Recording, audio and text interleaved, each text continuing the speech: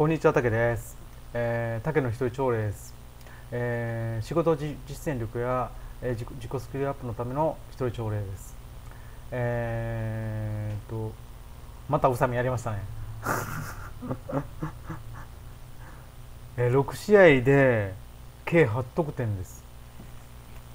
まあ結構、えー、と神戸と神戸とやったんですけど引き分け引き分けてしまったんですけどまあアウェーなんでまあ良かったんですけどかなりでもアピールしてますよね。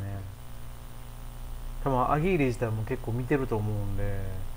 ただ問題はねフルで体力がいけるかっていうのがね。ほんで明日ですよね。明日、えーウルグアイ戦ですよね。めっちゃすごい楽しみなんですけどね。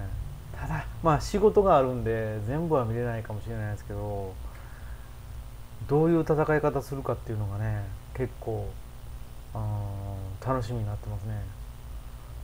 まあこれでね宇佐美も代表アピールになってまあ選ばれるとは思うんですけどねいつかはね。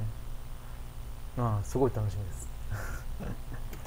以上です、えーそしたら、えー、竹の一人朝礼です、えーリストーロの改善、えー昨日できたのは動画をの、えーあ動画を準備あ動画の準備と、えーブログを2つ作るでができましたね。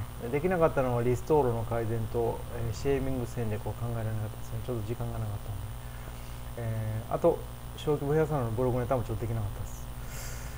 で今日すべきことはリストーロの改善とシェービング戦略、えー動画の準備と動画を 1, 本作る。で、えーブロえー小規模ヘアサロンのブログの下書きをしたいと思います、えー以上竹野一人朝礼でした。